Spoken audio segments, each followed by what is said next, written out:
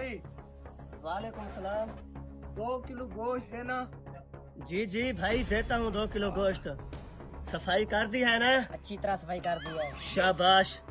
भाई जान जो रेट लिखा हुआ है उसी रेट पर दोगे ना? जी जी भाई उसी रेट पे देंगे। ठीक है भाई दो किलो तोलो भाई जान साफ़ गोश्त। साफ़ साफ़ होगा टेंशन लेने की ज़रूरत नहीं है। ये लो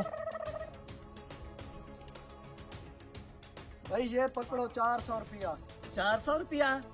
भाई चौबीस सौ रुपया आपका बनता है। चौबीस सौ रुपया? जी जी बारह सौ रुपया लिखा हुआ है। आपको पढ़ना नहीं आता?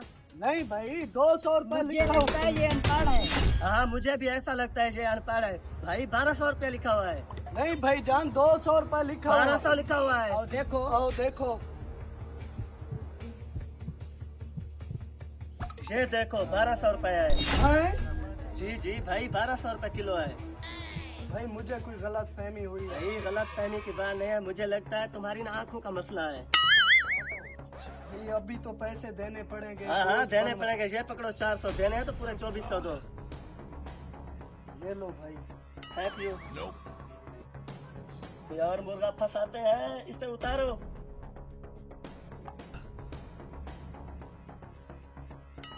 गोश्त दो सौ रुपये किलो चलो आज कुछ ज़्यादा लेता हूँ।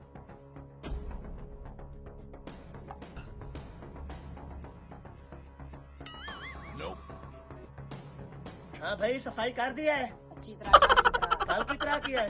हाँ भाई कितना गोश्त चाहिए आपको? पाँच किलो चाहिए। पाँच किलो? ठीक है हम देते हैं। उसी रेट के हिसाब से आपसे पैसे लेंगे। जी जी जो सामने लगा हुआ। हाँ हाँ उसी रेट के हिसाब से। कितना चाहिए? चलो पाँच किलो। पाँच किलो?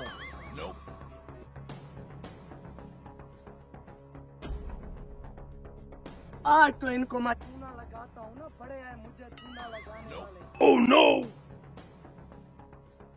आप आया ऊट पहाड़ के नीचे।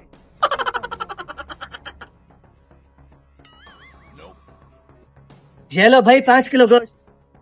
ये लो पाँच किलो पाँच सौ। पाँच सौ किस चीज़ का? आपका छह हज़ार बनता है। रेट पड़ा है आपने? जी जी देखो आप।